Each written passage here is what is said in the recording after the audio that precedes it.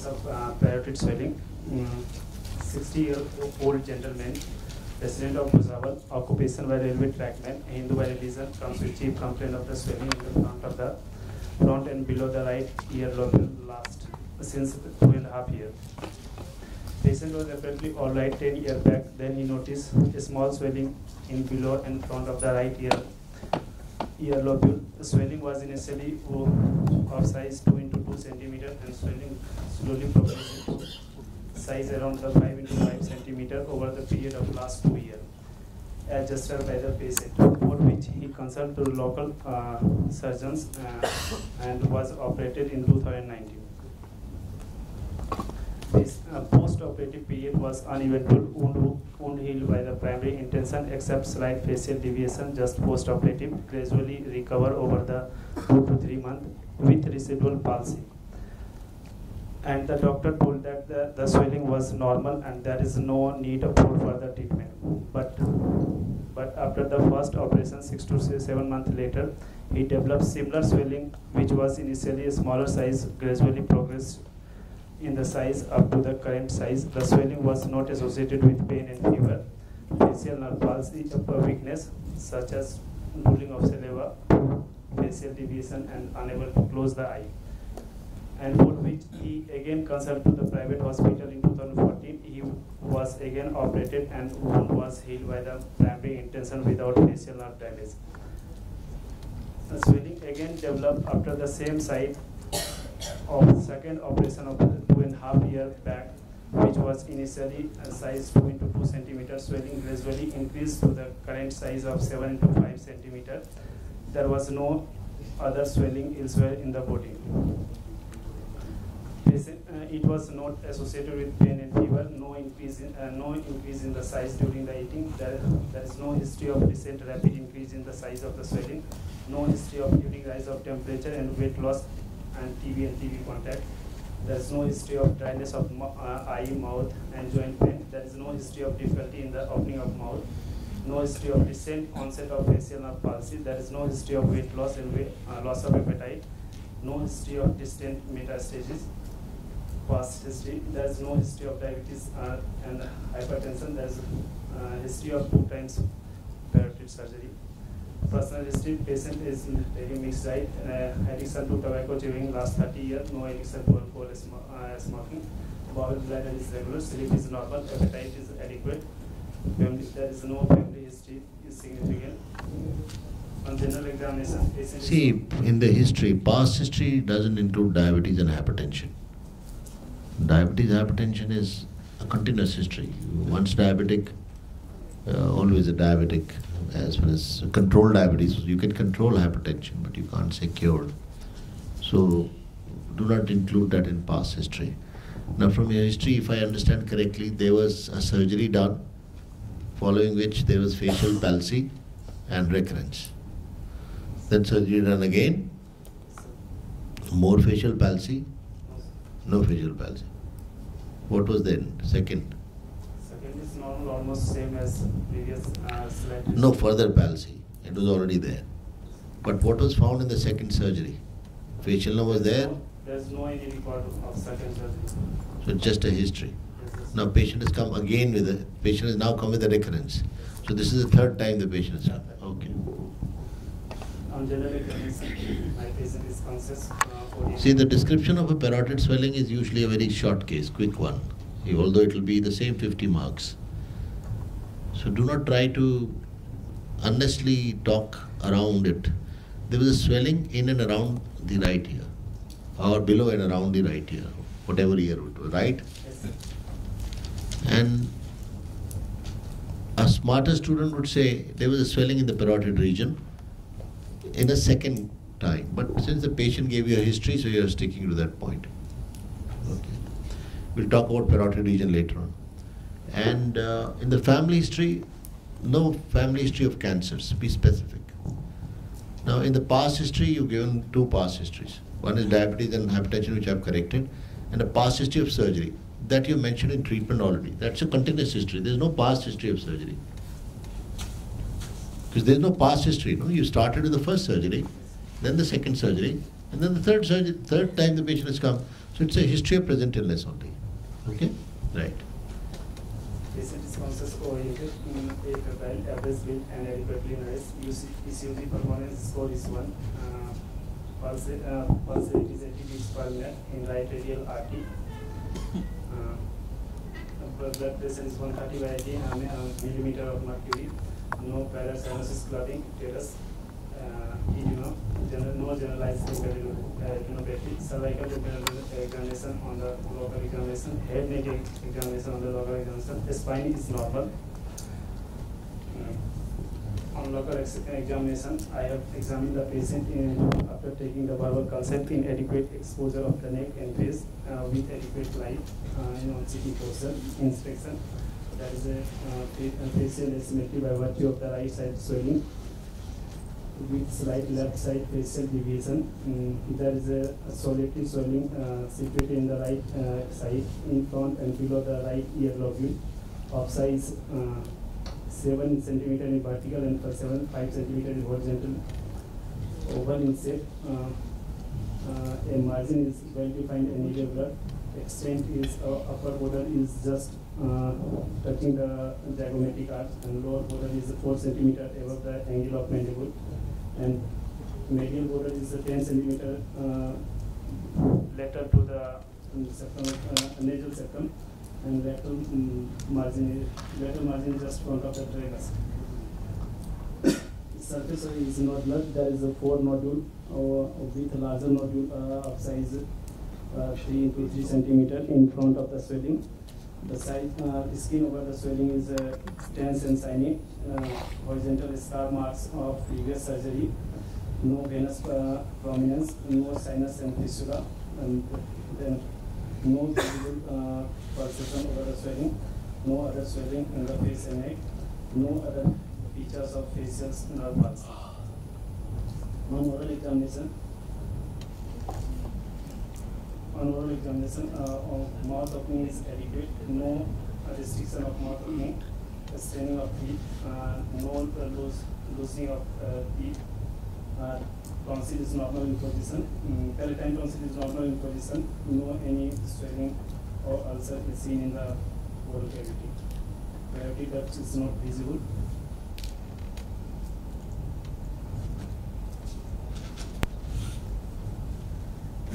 Palpation, uh, local, localized uh, temperature and inspective finding are, uh, is confirmed on uh, palpation. Uh, variable inconsistency from hard to firm. Uh, skin over the swelling is fixed, not uh, pinchable. Swelling is fixed to the underlying stator, uh, muscle, masseter muscles. Temporal artery is, uh, temporal artery is palpable. Uh, parotid duct is not palpable, and te- temporo- temporomandibular joint is movable. There is a uh, uh, right, uh, single right side upper jugular on cervical lymph, uh, node examination, there is a single right side upper uh, cer- uh, lymph node is palpable of size 2 into 2 centimeter mobile, firm in consistency, not warm and not tender. No other lymphadenopathy. Opposite side of the head and neck is.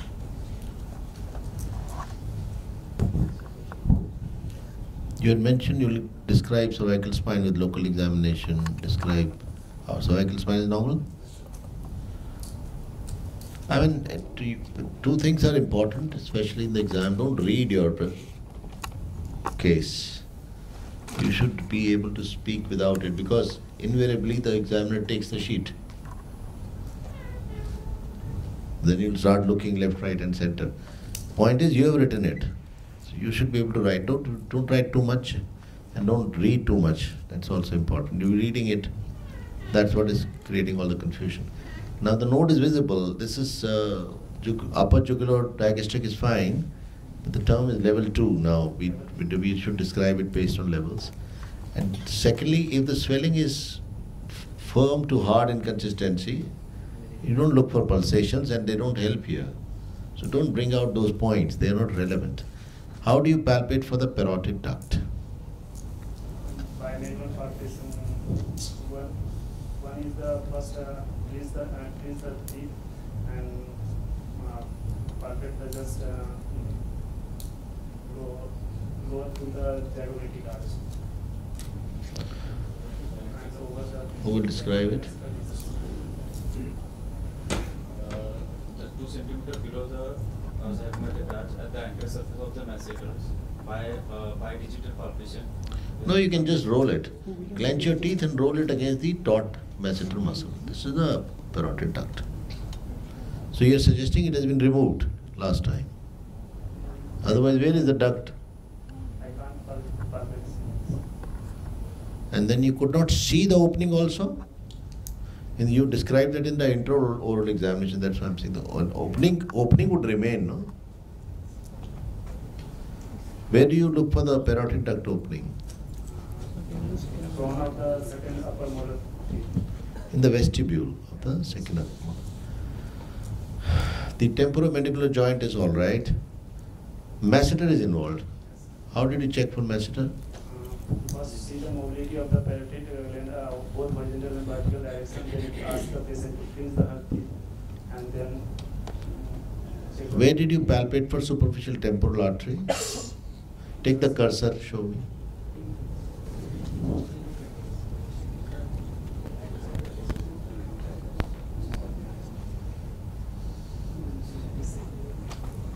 Yeah, maybe a little higher.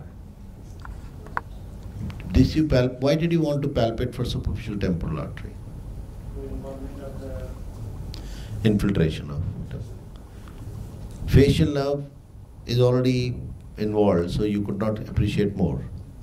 But you've done some tests in your picture. Show me, show us the pictures. Okay, stay with the oral. Stay with the oral picture first. What is this? Uh, ask patient uh, uh, or show uh, her and that is the slight deviation to the left side. What else is visible on the right side? Take your cursor down, And that's nasolabial fold. down, down, down, move left, left, left. No, no, no. Left means right. I'm sorry. Right, uh, stay, stay. No, no, go up. Right, right, right. Right is that side. Go down. What is it? Stay there. Go down. What do you see? Fan sign. Fan sign. Fan sign.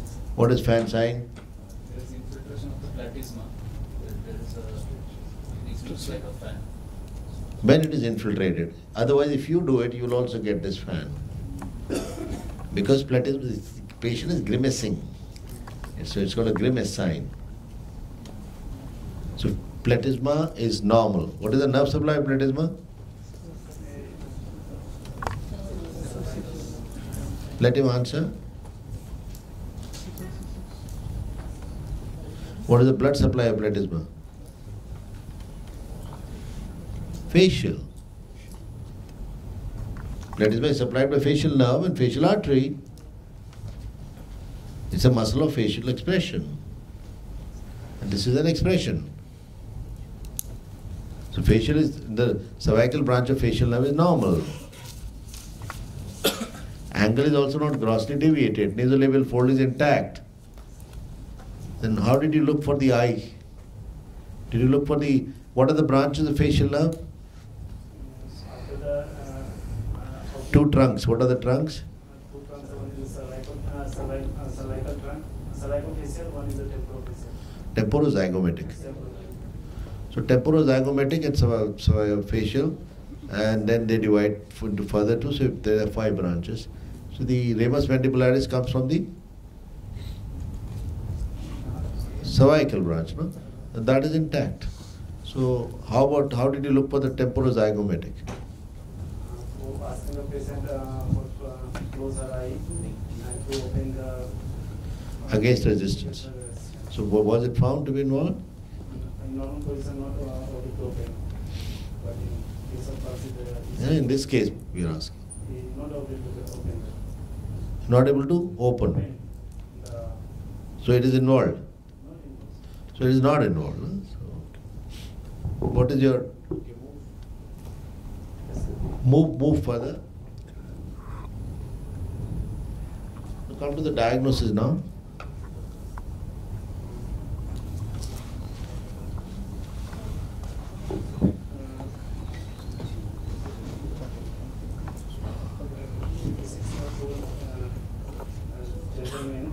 Uh, it is a case of superficial plastic parotid swelling with ipsilateral single uh, uh, single mobile lymph node level 2 without features of distant.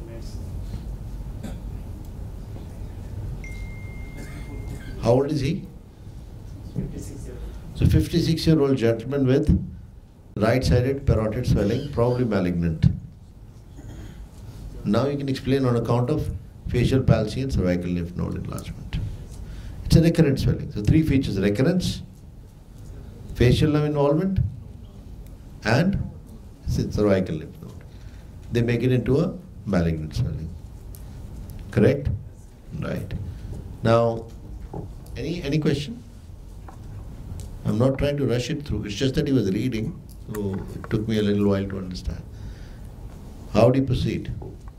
Uh, we confirm, uh, confirm my diagnosis and then disease and then further plan First, I confirm of diagnosis, we go for the uh, so USG guided, uh, so, uh, USG guided FNAC and then uh, CT uh, head and neck.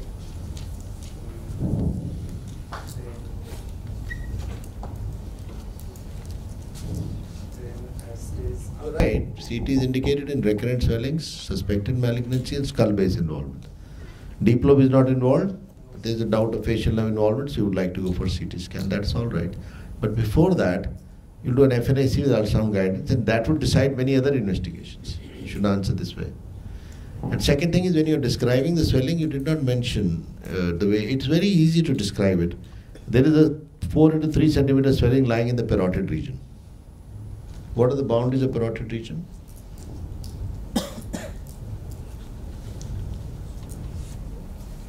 Next.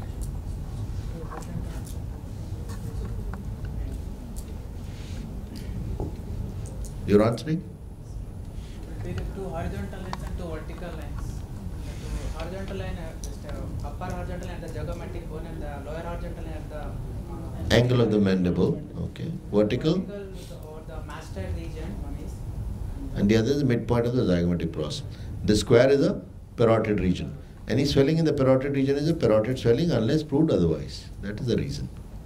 So there is a swelling in the parotid region, then you get a question, what is the parotid region? That's why you should describe it. And then describe the swelling. And don't come out with useless points which are not relevant. It's not a cystic swelling. Why should it be pulsatile? Especially when it is not. Describing it at length is no point. Okay, you've done an FNAC, you've done a CT, and facial nerve is partially involved. It looks all right. What treatment will you offer? The, uh, if there is a uh, evidence of malignant, then go for the uh, total uh, total uh, thyroidectomy with preservation of the facial nerve. What is that called? Total conservative parotidectomy. And what do you do for the lymph nodes? It is a positive node, so you do modified radical neck dissection. If it is negative, you can do a selective neck dissection, which can be not supraomohyoid because you don't need level 1 here. So it will be posterior lateral as they call it. The term is changed now. Therefore, now classification is selective neck dissection. Now my, new book I have given that. Older one has the neck dissection book I am talking about. Level 1 is not done. So 2, 3, 4, 5. So posterior lateral. So that is rather than calling it anterior lateral, posterior lateral, they call it SND and they mention the levels and the preservation of the structures. There will be skin loss and you may have to reconstruct using a forehead or a since the superficial temporal artery may get involved, occipital or TP flap, some deltopectoral flap you've heard of? Based on it is based on which vessel? So right now, deltopectoral flap is based on thoracodorsal artery. And cut it three times. It is wrong three times. Thoracodorsal cannot supplied. Thoracodorsal is Latissimus dorsi flap. It's so posterior. You should be, how can you be so grossly wrong? Deltopectoral flap is based on perforators of internal mammary. Pectoralis major myocutaneous flap is based on pectoral branch of thoracoacromial artery. And Latissimus dorsi flap is based on thoracodorsal artery. First branch of axillary artery, one first part gives one branch, superior thoracic. Second part gives two branches, thoracoacromial and lateral thoracic.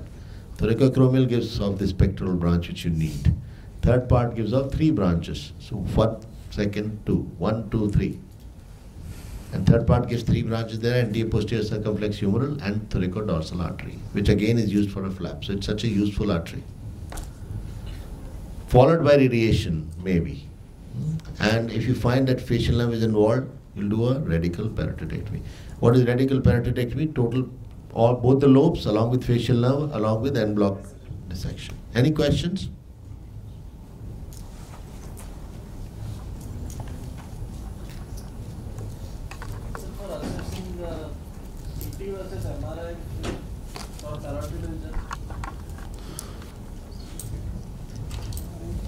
MRI superior, but uh, CT has an advantage for skull base assessment. CT has an advantage for skull base assessment. MRI is superior for facial nerve assessment. But CT gives you adequate information for facial nerve also. So most people like to do a CT. The indications for CT scan in parotid malignancies are very clear. Recurrent, remnant parotid cancer, skull base when you have a doubt, and third is facial nerve involvement. So you would like to do that in this case. Yes. You're asking? Same question. Same question. You can write both because in US uh, CT they do as a first investigation in most situations. While we don't do CT that frequently.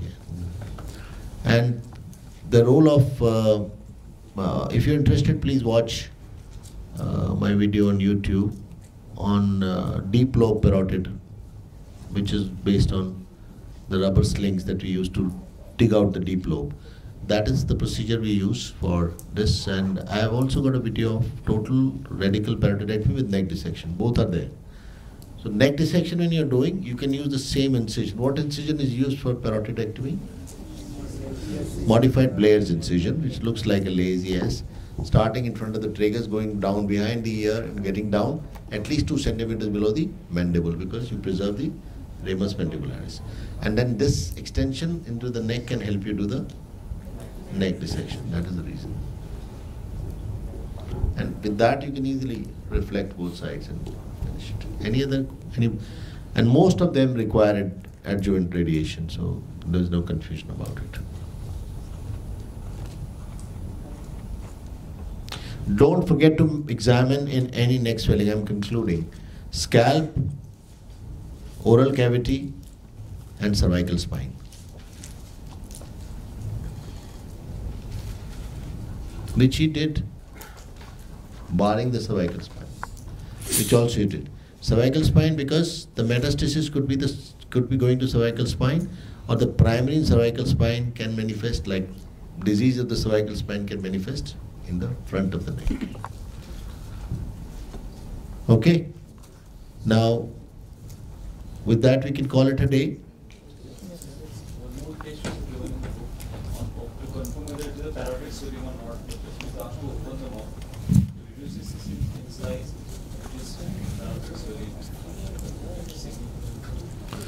The uh, parotid fascia is the basis because the investing layer ends here and then parotid fascia two leaves emerge. That's why parotid abscess is a very painful condition, you know, tight compartment. So when you open the mouth, the fascia gets stretched, so the swelling reduces in size. The platysma test is also similar. Deep fascia test is like this. If you turn the head that way, the deep fascia becomes taut. So the swellings of the posterior triangle disappear. These are all parotid is there, you know. Parotid doesn't need too much of rocketing.